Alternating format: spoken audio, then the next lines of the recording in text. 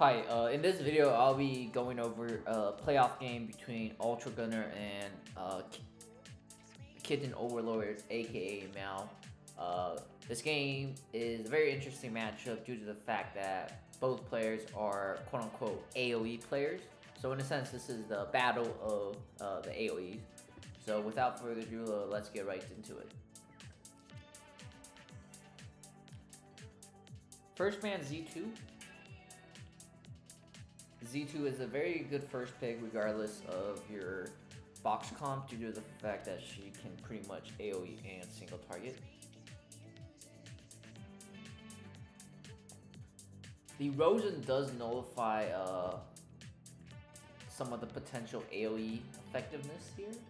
However, banning out the tanks is also important because then that leaves uh, uh, leaves Mal with options to pick mages. Which uh, he does pick. Ultra Gunner proceeds to ban out the other two mages. Well, technically Kurtz is also another mage, but...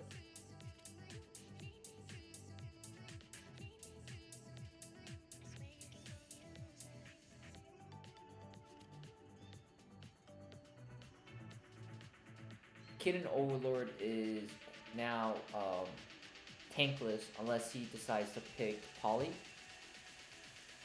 and he does pick Polly. Uh, we'll see if he does end up bringing the guard skill. Riki is also a unit that has guard. Polly also has guard too, so we'll see what Ultra Gunner decides to do with his skills. Jo Joe and Connie, okay, that's an interesting pick. Florentia, very interesting pick here. He, Florentia is not to have a faction buff.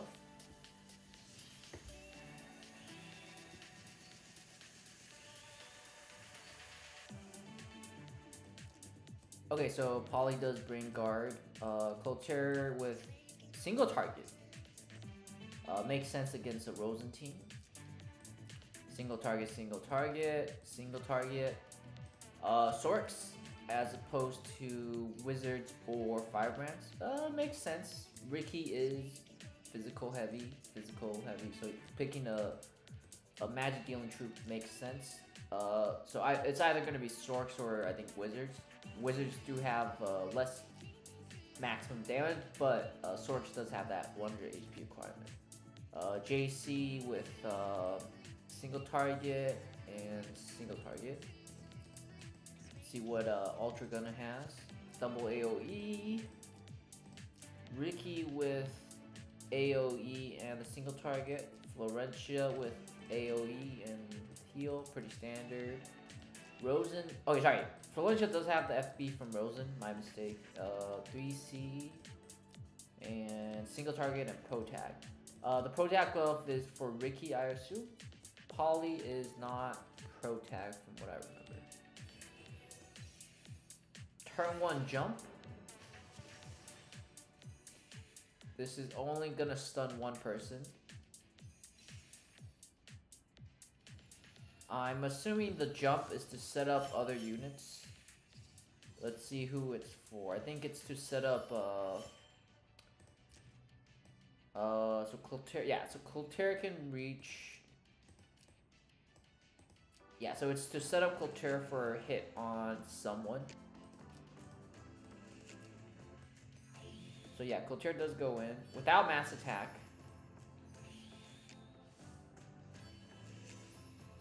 Tries to kill the Riki. Does not do a lot of damage. Uh, this is this is not a Tiamat Riki. Interesting enough. Uh, this skill is magic. Does magic damage. Just take a look at the ticks. Well, to be fair, 1300 int is not a lot of int. So maybe that's why this is, uh, this is to, to be expected.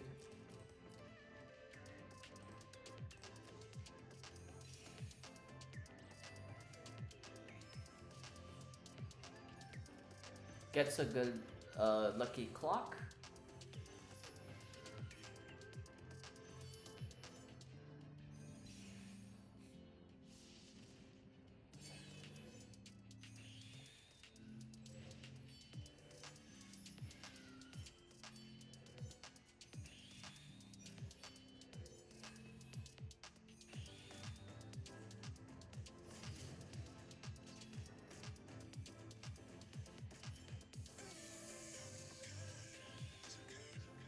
Uh, move both summons closer. This is to allow uh, Luke to do the swap later, to my understanding, and kill someone. Uh, moving the Joe and Connie. This is let's see.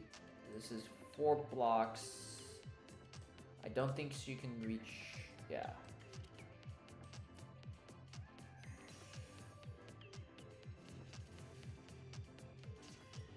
So the the Clotilde does end up dying.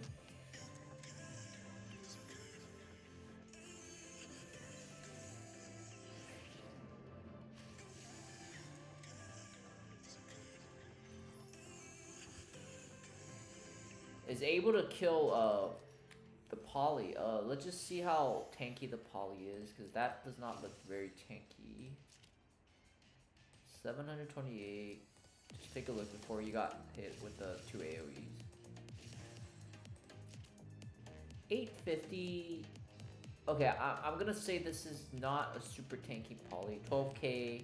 Yeah, for sure. This is, I think, a attack heavy Polly. So yeah, the Polly dies. Someone gets stunned. This prevents Luke from being able to reach the other units.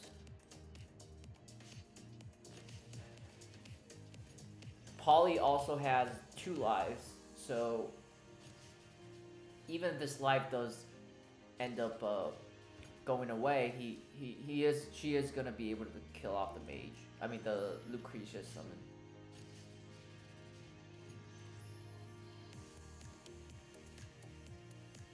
So now, uh, Meow's Luke is at a range disadvantage. No longer has the uh, the, the, the, the summon to increase her span.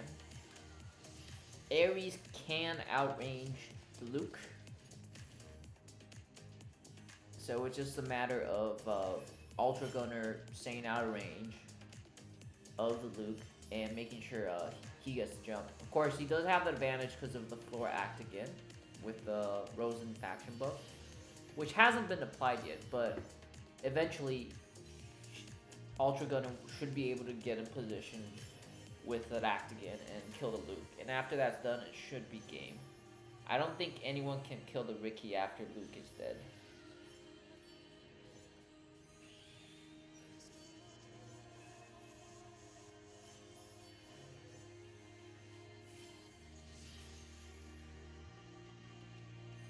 Yeah, there's there's no way for Mal to have his Luke uh, be able to reach uh, uh, Ultra Gunner's units.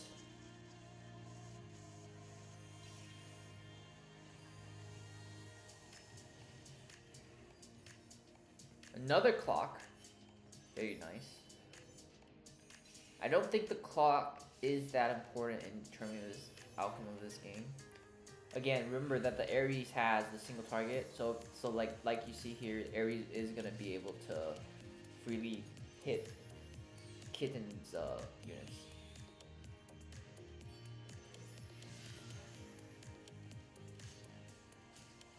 Again, the fixed damage from uh, Riki's uh, talent is very, very, very strong here. And yeah, that is game. Uh, I think uh, the key... Well, the Clotilde missing the kill was definitely very big.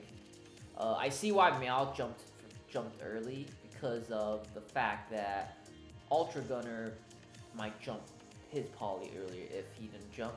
So really it's at a disadvantage. Like Meow could have, I guess, mass attacked the Clotilde, but then that gives Ultra Gunner uh, time to faction with with uh, Ares and move his Polly two blocks forward. So yeah, I, I think just uh, good uh, good choice of units from Ultra Gunner in that game. Very interesting choice of units. On to game two. Uh, so first man Rosen, very uh, very uh, uh, I guess a very logical ban. So now the second best anti-AoE healer, that being Elmo 1.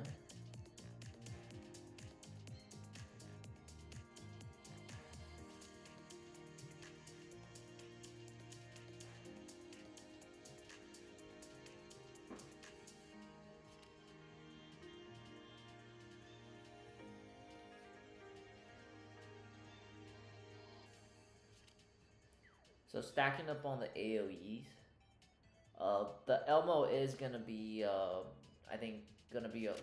The thing about AOE is, in my opinion, Rosen and Elmo both pretty much uh, kind of nullify uh, AOE boxes. That is unless um, you have some way of getting, well, against Rosen particularly, you have some way of getting rid of the stacks, which is with Bolzul. But I've yet to see, uh, well, at least a playoff game where a Bolzul has been played effectively to the extent, uh, with, with respect to, you know, fighting a Rosen and getting rid of the stacks with Bolzul. So maybe we'll see something like that in further seasons. But again, I think a pure AoE box is not the best box. Well, there are very obvious counters. You know, Rosen is a pretty good counter. Elmo is a good counter. Elma. And of course, you know, the upcoming um, Annie 2.0 Awakener is going to be a really good counter. Uh, AoE, AoE, AoE, with, of course, the single target. Uh, double AoE with Fireball, uh, AoE with Dark Creeper. Mass attack for uh, units here. Let's see what uh, Ultra Gunner has. Z2 with double single target air slash. Double single target. Uh, Ares is Tensei, if I remember correctly, so Hilda should give him the buff. Uh, Z2 is also Tensei. These are all Tensei units. Uh, Elma is also a Tensei unit. Very, uh, very good choice of synergy here, I would say, by Ultra Gunner. However, so the issue is, in my opinion, so when Elma drops her uh, summon, as we'll see later, uh, I think, if I remember correctly, the summon prevents, uh, provides an aura that prevents any form of uh, heal block. So Lavina is not going to be able to apply heal block on the Ultra Gunner units. And I think that does, uh, mm, does I wouldn't say completely counter this AoE barrage. As you can see, there's still five units that can AoE. And there's only really, uh, well, two healers. One healer that can full heal one AoE. TGS has the 3C, which is not too big of a heal. But you do have Z2 and uh, Ares, who will also both have revives and can uh, kill units.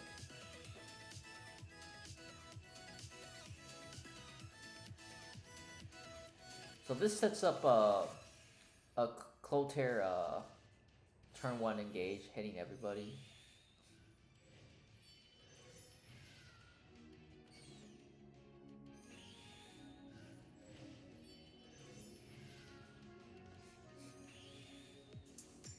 So Clotaire goes through the portal.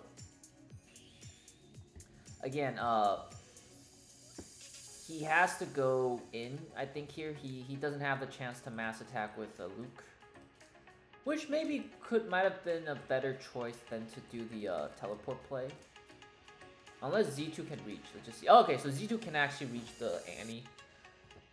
I see why uh, he would do the teleport back. He doesn't want the Annie, uh, the Z2 to come in, kill the Annie, uh, and let T just have a free uh, teleport position to kill uh, someone else. So, okay, it makes sense to retreat as opposed to mass attacking with Lucretia. So Clotaire is gonna drop the AoE on everybody.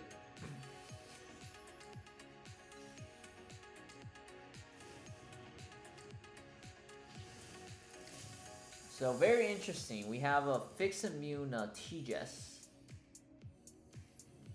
And I think it was also a fixed immune uh, Zerida.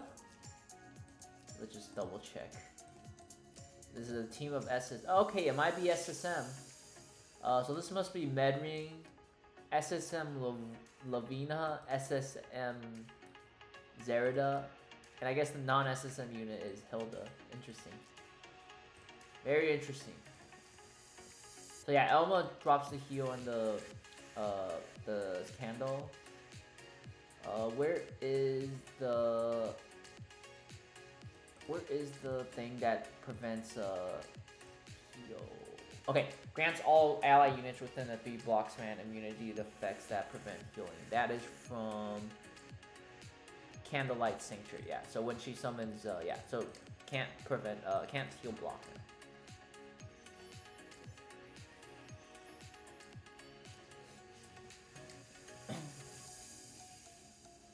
Kills the Clotaire. Um, nice little breeze proc here. I think even without the breeze proc, her reach is... Yeah, he can still reach most units here. The real question was... Um, well, Luke can't reach uh, anybody with the AoE, and Julian is not gonna able to increase the movement because uh, Luke cannot damage anyone. Okay, so yeah, pretty uh, pretty good spot for Ultra Gunner.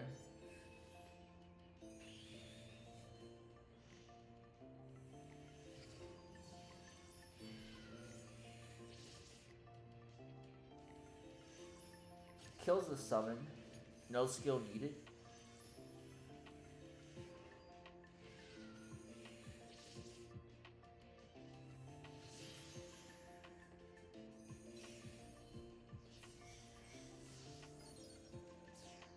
Drops the AoE.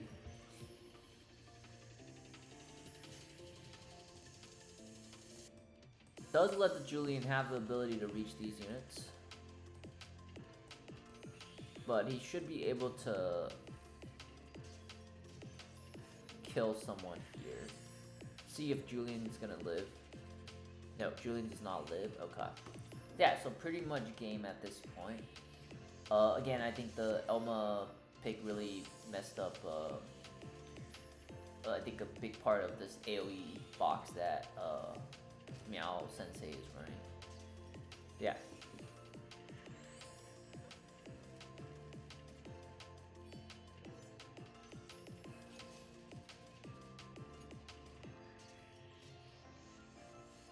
So no, not much here. Uh, the Z2 is just going to end up finishing this game.